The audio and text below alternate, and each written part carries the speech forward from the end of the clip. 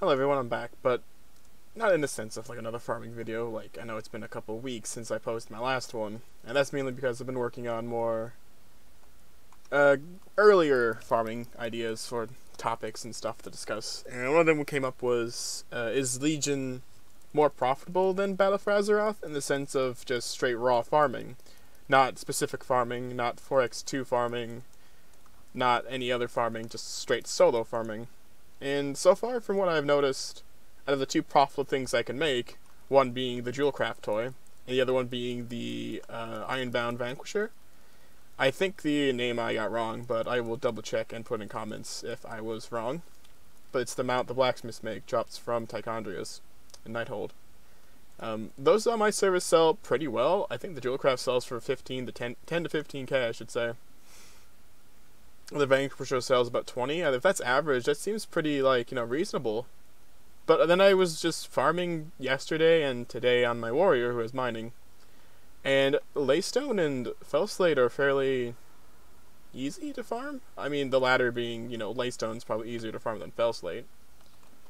Um, but that also proves the point that the farming of this is pretty much barren. Uh, I buy Leystone on the market, it's like 2 to 3k, and I'm always just questioning, like, why is it so expensive? I don't think it's just more of just the age of it, I think it's more the fact that no one goes back to Legion to farm. So if you're going to, you know, get crafting professions leveled in Legion and you came at BFA, uh, jewel crafting and mining, and having an alt with, you know, um, blacksmithing is pretty good because later on you can get some pretty good item level on your blacksmith. I took a five man group to do normal Tichondrius till the map uh, plan spawn. That you can also farm for transmog if you want to go for it very well, and it kind of dropped for me like the first time I went, and I'm pretty sure that it was just for me, but the first time I actually went to go kill Tichondrius on anything but LFR, because I'm not part of a raiding guild, I'm, a, I'm an RP server, I went and got the plans, so I think it's a higher drop chance now than it was originally, and might just be like I got lucky. I'd have to go Google that and confirm my suspicions. But as of now, I, I find BFA is like, you know, profitable in its own sense. You have 32 slot bags, you can easily go farm up to get a bunch too.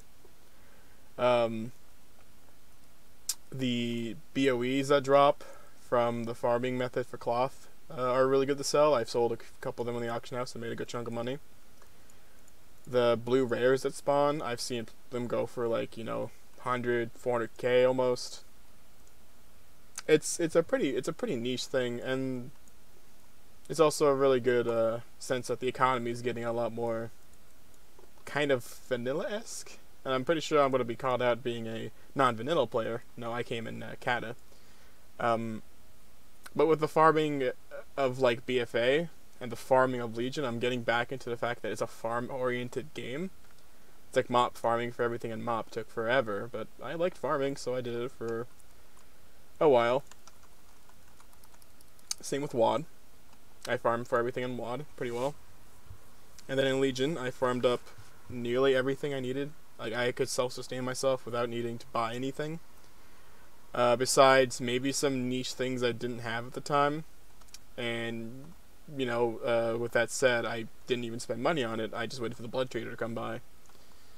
And then I spent a oodles amount of uh, Blood of Sargeras just to level up my blacksmithing on my main toon, which is my DK, to get the ability to make the higher tier stuff. And obviously, I, I, I didn't sell much of it. I sold it to maybe people who asked for it, but I always gave it to friends. So, yeah. I, I on the topic of Legion still, I think it is more profitable than BFA at the moment, but I might be wrong. This might be just me spending shit on my ass.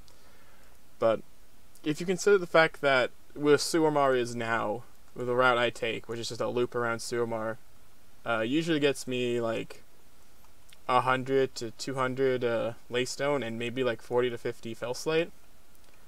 That's a pretty like fast farm, even when you get Legion mining. Just put on your gloves. I mean, there's no really limit to where you can do it. Hell, I would have done it on my legendary gloves if it didn't let me do it on um, my current gloves I'm wearing. But you have to remember that um, it's uncontested, so you can go around getting all that done. And with that said, people only really show up in areas that have the world quests for the emissary caches in order to get paragon mounts. And that's another thing that people kind of just navigate away from. Is if like an area is contested, like an invasion is there or a emissary quest is there to get all the things you want. It's not really that bad.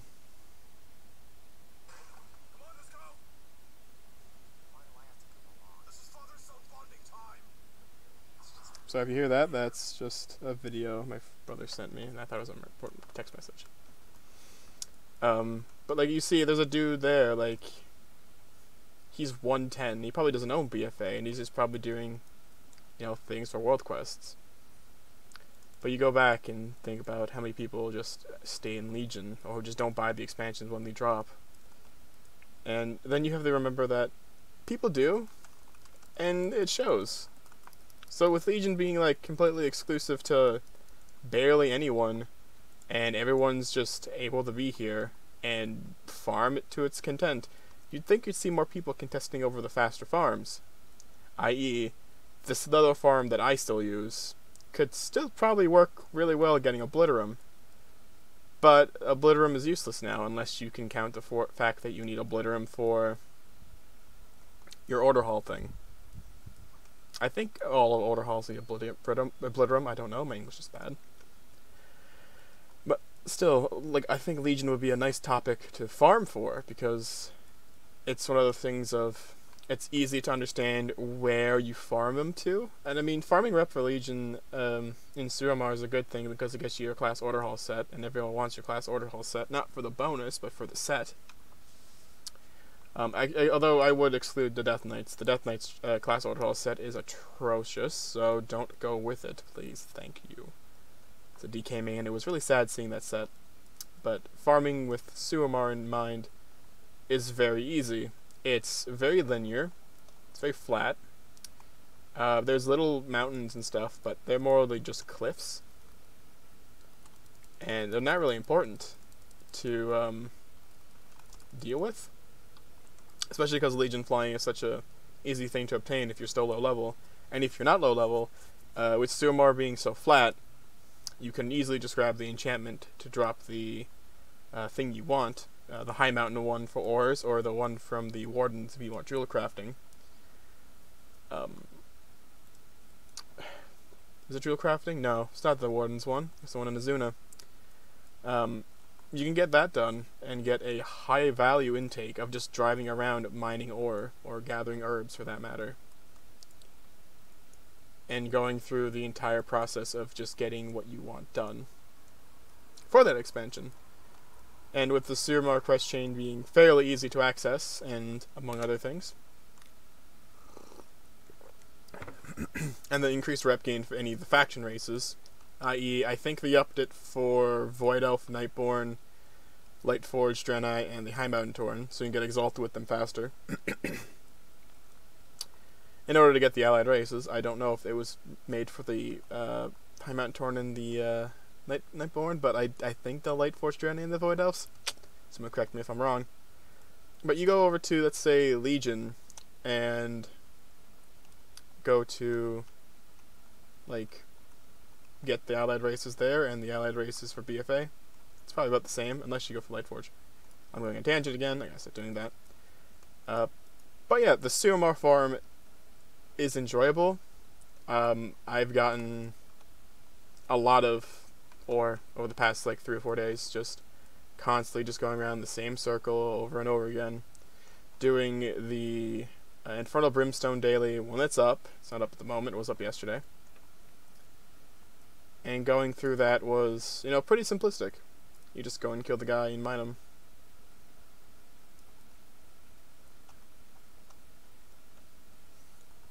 And you kind of fly around, you just go like, ooh, it is a leystone deposit. You will get this. And then on the map you see there's another leystone deposit back here, and you just go up to the thing and mine it. And it's just very, very relaxing. Oh, and these guys spawn. These guys are great. They gave me extra stone. And I'm converting this all into a jewel craft, and I'm only... I, I need three out of everything and I think I have everything except for three out of the specific Dawnbright, and the other one whose name I can't remember. Bad at remembering names. No, I need two Dawnbright and one more Padamant. Mant. Padamant. Padamant? Padamant. Sounds like a fucking Steven Universe uh, fusion.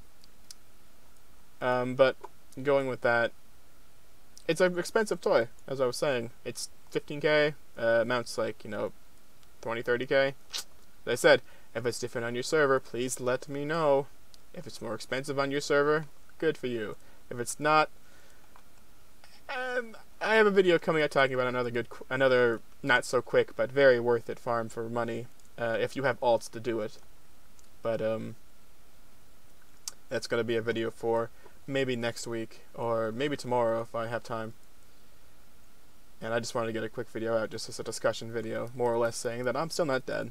And I have been reading comments uh, to add to that, and people say that my old farm uh, that got a lot of views, thanks, um, was nerfed. And I went and double checked it, and it seems like it was nerfed slightly, but I can't tell. It's more or less just not a practical farm. It's more of just a really low contested uh, farming spot that you can grab when there's no 4x2s or there's nothing else to do.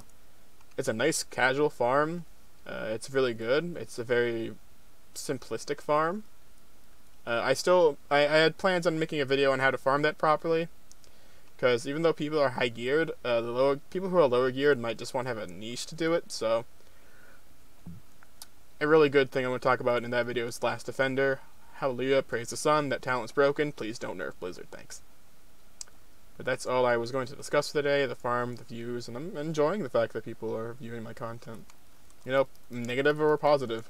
I plan on remaking the uh, skinning video, because I didn't like the quality, how it turned out, it kind of wasn't, you know, coherent. Like this, this is just, you know, just an uncoherent video of just me rambling about things, but, eh.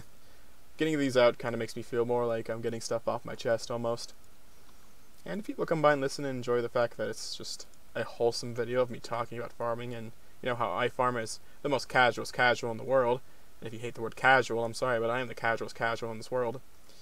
Uh, and who just I just play the games for fun, and I enjoy farming for everything. Farming is just something I enjoyed doing. I mean, hell, I have like almost 350 hours in the Borderlands. Now, those are some people, but I have a lot of hours in the Borderlands. But that's just not my PC, not my PlayStation, and not my PlayStation 2. Uh, 3, I should say. But other than that, that's probably all for this video. I might make another one later about, you know, a route